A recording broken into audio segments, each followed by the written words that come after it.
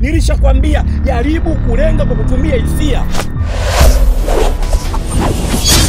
Yule mtu hafai, tung'oe tuondoke. Wewe ulikuja na sura ya mbuzi wewe.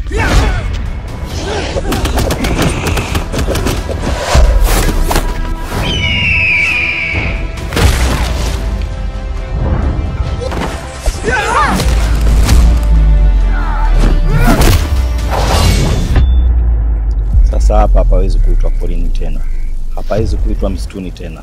Tangu sasa haya ndiyo yatakuwa makazi yetu ya kudumu. Huyu ni mtu aina gani ndugu yangu? Mishale aliyokuwa anapiga yule binti. Mtani unasumbua mtaa, unatema namba kibao rafiki yangu hapo.